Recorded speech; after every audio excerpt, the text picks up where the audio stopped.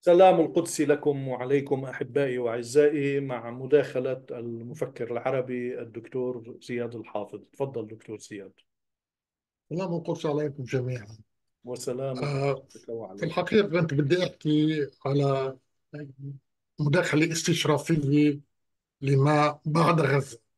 ولكن قبل أن ندخل في هذا الموضوع يعني بدي أعلق على بعض الحوارات اللي سمعتها قبل ما يبلش التسجيل فيما يتعلق بدور الجماهير العربية إلى آخره.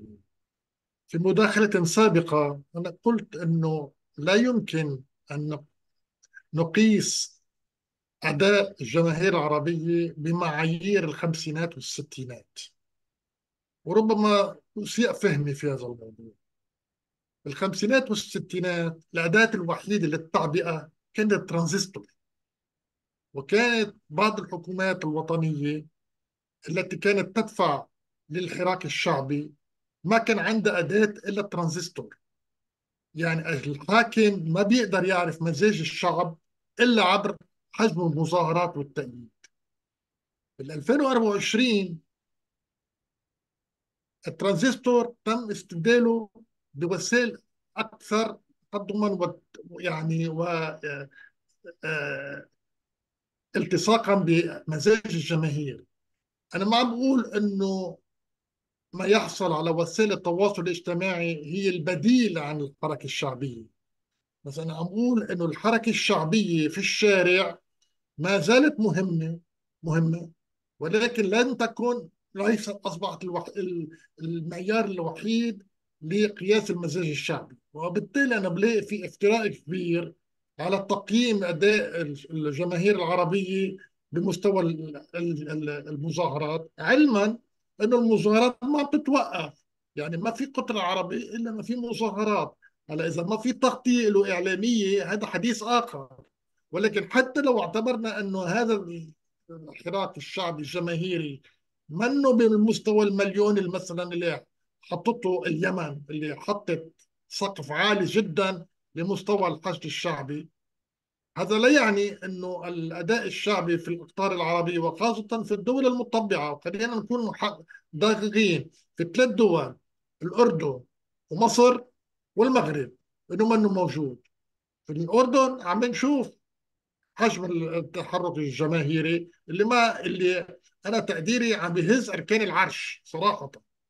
وكذلك الأمر بالمغرب التحرك الجماهيري تحرك كبير مصر حديث آخر ما بدنا نفوت فيه بوقت الحاضر ولكن ما فينا نقول إنه غيب عن عن الوجود في مزاج شعبي مؤيد لل للمقاومة ونصرة غزة ونصرة فلسطين.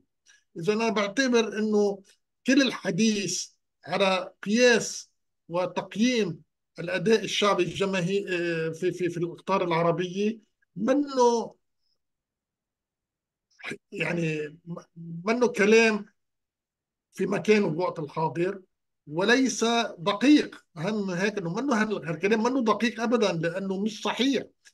في مزاج شعبي عارم في كل الدول العربية مش ضروري دائما يعبر عن حاله في في في الشارع. هيدي النقطة اللي بحب ركز عليها واللي بده يضم يحكي فيها يحكي فيها لأنه بآخر المطاف ما بعتقد التقييم اللي سمعته لبعض الإخوان أنه الربح بالنقاط ونص نصر أو نص هزيمة هذا كلام لا يجدي. ولا ولا وأنا في رأيي لا يغني عن جوع ولا يسمن. واللي بده يضم يفكر بالطريقة يضم يفكر بآخر المطاف.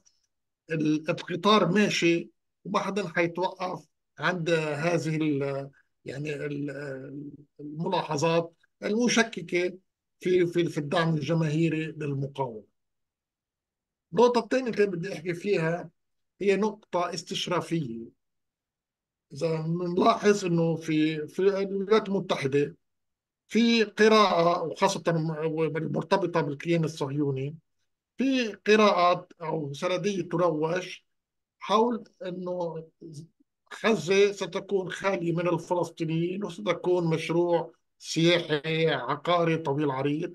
وذا ذلك أتى ذلك على لسان آه، جارد كوشنر. لا هذا الموضوع حيحرجه كثير لترامب يعني في المستقبل بس هذا حديث آخر. إنه إنه بآخر المطاف إنه بنطلع الفلسطينيه وبنعمل مشروع عقاري وكأنه اليد العليا للفلسطين لإسرائيل. أنا في قراءتي أنطلق من منطلق مختلف كليا اللي هو زوال الكيان. إذا أنا الآن أنظر إلى مستقبل غزة من زاوية زوال الكيان الذي قد يحصل خلال سنتين ثلاثة.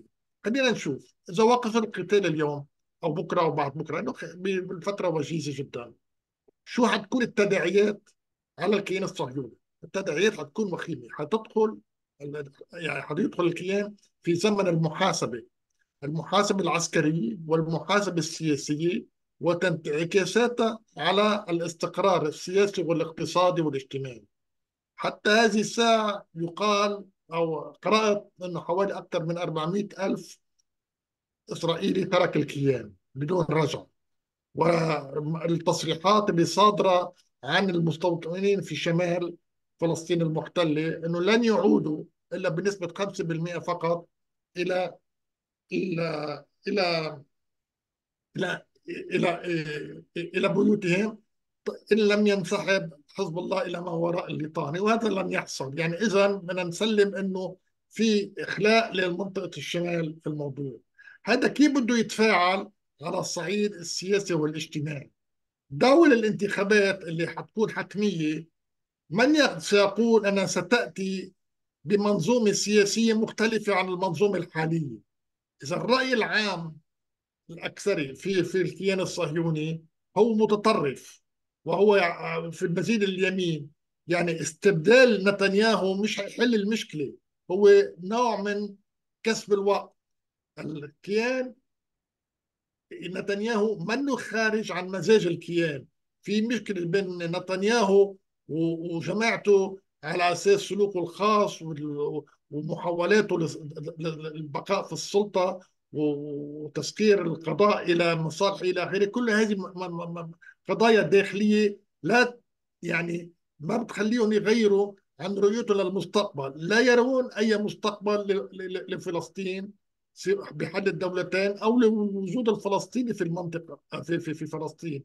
يعني قضية التهجير التي أبرزها هذه أبرزتها هذه الحكومة تجلت في في غزة والخطة الثانية ستكون في في في الضفة.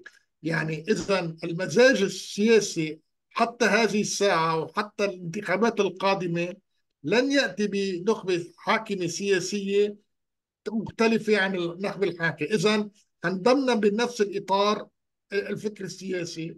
هذا يعني أنه ما في حل لأي للمنطقة بوجود هذه الكيان. يعني عم بتصير ضغط أكثر وأكبر أنه ما في استقرار في المنطقة إلا بزول الكيان. وهذا اللي حيصير. هلأ إذا تم عم بيصير في ترويج من دول أوروبية والولايات المتحدة لحل الدولة الثانية إعادة تعويمها وإعادة تعويم السلطة. طب في مشكلة شو بيعملوا بالمستوطنين في حوالي 700 800 ألف مستوطن وهدول أصبحوا مسلحين. سموتريش قام بتسليحهم. اذا في عندك بوادر حرب أهلية. حتى لو إجت حكومة أرادت أن تمشي بحل الدولتين شو حيعملوا بالمستوطنين؟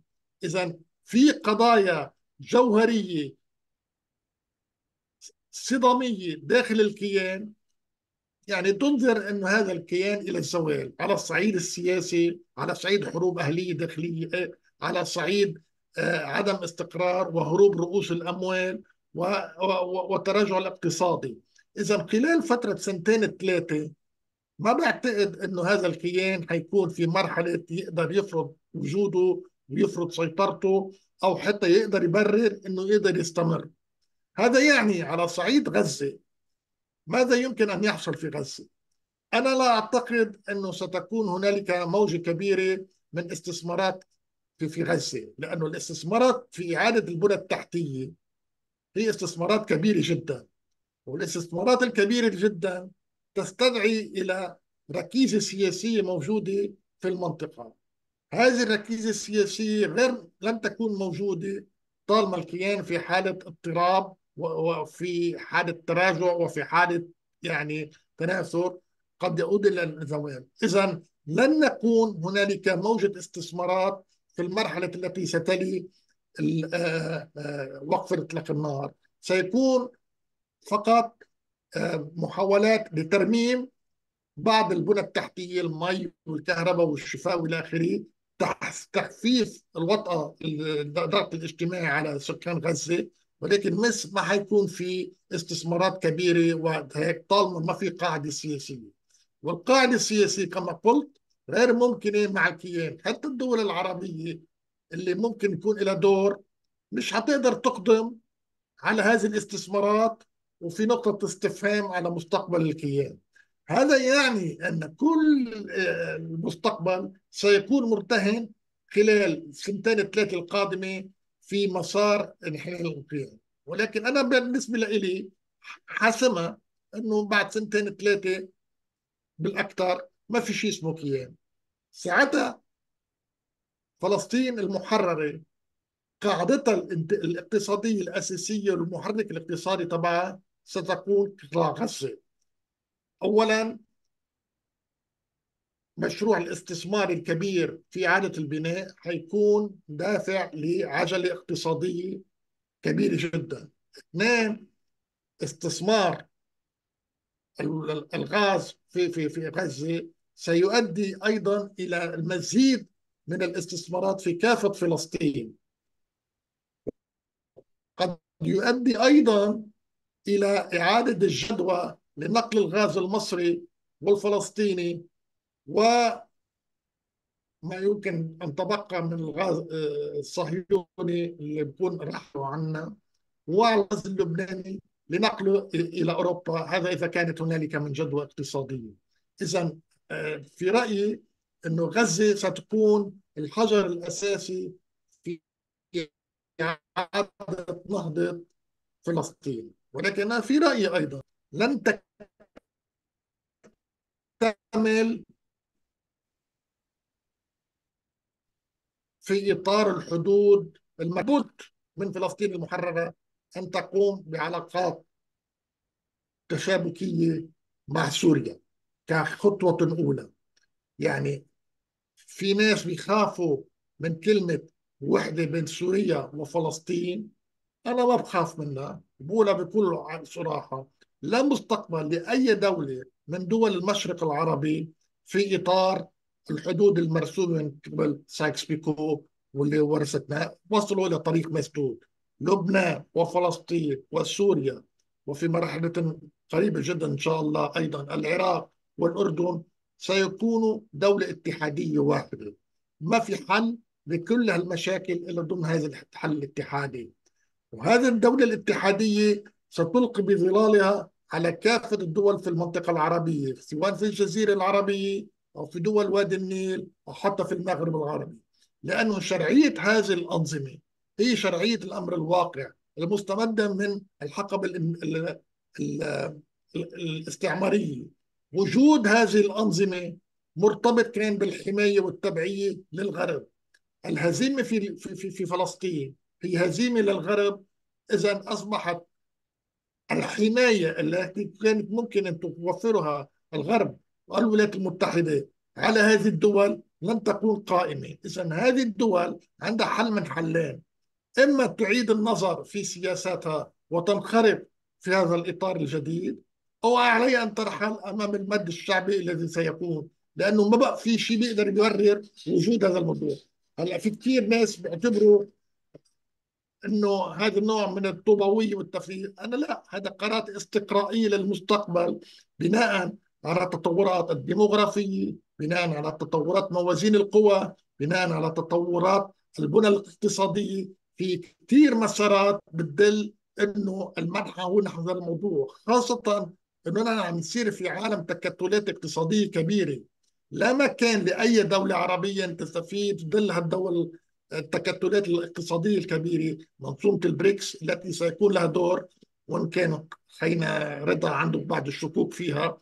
بس بعتقد إنه المستقبل نحو هذا التكتل أو هذا النمط من من من من من من هذا من العمل السياسي والتكتل السياسي واللي عم حينعكس بطبيعة الحال على الصعيد الاقتصادي لأنه ركيزته ركيزه اقتصادية. لأول مرة بنشوف إنه التحول السياسي في العالم حتكون ركيزته اقتصادية علما أنه بالنسبة لي الاقتصاد ليس إلى السياسة ولكن بلغة الأرقام. ولكن هذا حديث آخر.